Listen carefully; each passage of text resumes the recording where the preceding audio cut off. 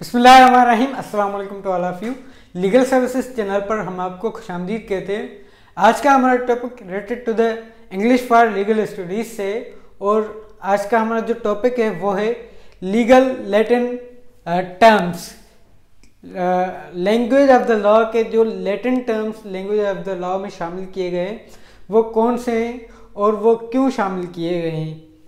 सबसे पहले डिस्कस करते हैं Latin terms have linked with the law and the legal opinion since the beginning of recorded law. अब इसका मतलब ये हुआ कि जो लेटिन टर्म्स हैं, वो कब से शामिल हैं? लैंग्वेज ऑफ़ द लॉ में लेटिन टर्म्स जो हैं, वो जब से रिकॉर्डेड लॉ को रिकॉर्ड करना शुरू हुए, वो जब जब जजमेंट्स लिखना उन्होंने शुरू किया तब से लेटिन टर्म्स को यूज़ करना उन्होंने शुरू किया, जो कि जुरिस्ट थे। उसके बाद एंड केस हिस्ट्री, और केस हिस्ट्री में जब जब उन्होंने लिखना शुरू की केस हिस्ट्रीज को जजमेंट्स को, तब से उन्होंने लेटिन टर्म्स का सहारा लिया। उसके बाद whilst the current trend is to simplify language at the same time जो आजकल का ट्रेंड है, वो language of the English language को सिंपल करने का सिंप्लीफाई करने का ट्रेंड है. And adopt plain English in communication and written law और रिटन लॉ एंड कम्युनिकेशन में प्लान लैंग्वेज इंग्लिश लैंग्वेज को एडॉप्ट करने का ट्रेंड चल रहा है आजकल, ताकि सबको समझ आ सके. We continue to see Latin terms use to describe legal principles पर तब भी हम लैटिन टर्म्स को देख रहे हैं कि वो लीगल प्रिंसिपल्स को डिस्क्राइब कर रहे हैं क्योंकि ये लीगल इंग्लिश का हिस्सा है और लीगल इंग्लिश में लेटिन टर्म्स का होना बहुत लाजमी होता है। There are some commonly use Latin terms कुछ लेटिन टर्म्स ऐसे हैं जो कि कॉमनली यूज़ होते हैं जजमेंट्स uh, में या कोर्ट प्रोसीडिंग्स में वो कौन से डिस्कस करते हैं? सबसे पहले है एब इनिशियो एब इनिशियो का मतलब है in the beginning from the beginning अब एब इनिशियो कैसे यूज़ होता है कोर्ट प्रोसीडिंग्स में? कैसे यूज़ करते हैं लॉयर्स कैसे होता है जजमेंट्स में कैसे यूज़ होता है? For example in your honour My client is ab initio, innocent, and police has falsely registered FIR against him.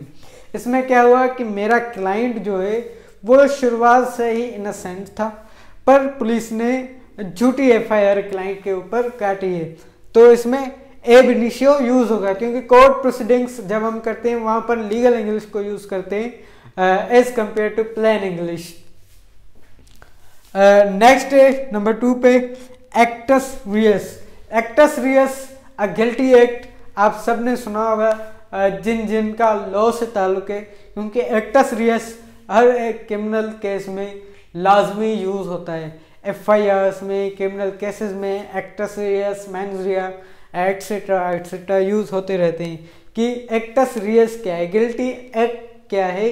जो अक्यूज पर्सन uh, है उसका।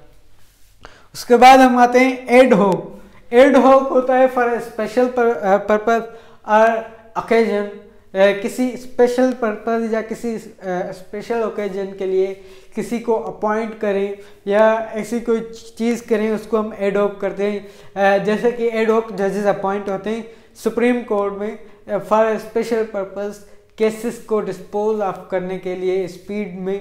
एडॉक जजेस की जैसे अपॉइंटमेंट होती है, वैसे ही एडॉक की भी मीनिंग है for a special purpose for a special occasion उसके बाद हम आते हैं ad idem ad idem to the same result or purpose कि कोई हम चीज़ कर रहे हैं तो हम हम उसकी उम्मीद रखते हैं कि इसका जो रिज़ल्ट होगा, वो भी वैसा ही होगा जैसा हम कर रहे हैं। सेम रिज़ल्ट होगा जैसे कि कॉन्ट्रैक्ट्स uh, होते हैं। कॉन्ट्रैक्ट्स में होता है फॉर एग्जांपल हम कहते हैं कि आप जो है ये घर पेंट करके दें मैं आपको फाइव हंड्रेड रुपीज़ दूँगा। फॉर एग्ज़ाम्पल हम ये सोचते हैं कि ये सारा घर पेंट हो जाएगा फिर हम फाइव हंड्रेड देंगे। तो इसका मतलब क्या क्या हुआ? At the same result ad idem for the same result same result के लिए हम आपको पेमेंट करेंगे। यहाँ पर कॉन्ट्रैक्ट्स में अक्सर एड इडम यूज़ होता रहता है। अब हम आगे चलते हैं amicus curiae amicus curiae friend of the court बहुत यूज़ होता है। ख़ास तौर पर जो स्पेशल केसेस होते हैं, उनमें एमिकस क्यूराय की ज़रूरत भी पड़ती है। एमिकस क्यूराय का जो की जो लफ्जी माना है लिटरल मीनिंग है, वो है फ्रेंड ऑफ़ द कोर्ट अब फ्रेंड ऑफ़ द कोर्ट कौन होता है? जो कोर्ट को असिस्ट करता है जो कोर्ट की हेल्प करता है। आ, कुछ केसेस ऐसे होते हैं जिनमें friend of the court amicus curiae की ज़रूरत पड़ती है। एक एक्सपर्ट ओपिनियन की ज़रूरत पड़ती है।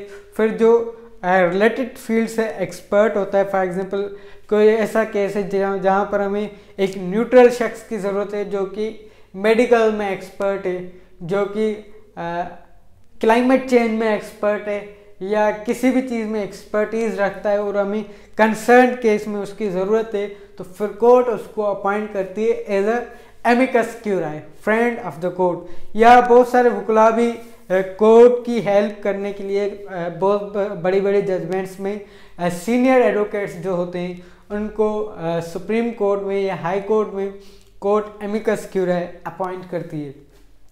यहाँ तक जो हमारा आज का लेक्चर था लीगल लेटिन टर्म्स का कंप्लीट हुआ। ये जो लेटिन टर्म्स हैं, ये हम इंशाल्लाह नेक्स्ट लेक्चर में कंटिन्यू करेंगे। लेटिन टर्म्स जो कि कॉमनली यूज़ होते हैं, वो सारे के सारे हम इंशाल्लाह नेक्स्ट लेक्चर में कंप्लीट करेंगे। या ज़रूरत पड़ी तो पार्ट थ्री भी हम इस वीडियो का बनाएँगे। थैंक यू फॉर वॉचिंग अगर आपको हमारी ये वीडियो पसंद आई तो काइंडली लाइक करें कमेंट करें और अपने दोस्तों के साथ शेयर करें। अल्लाह हाफिज़।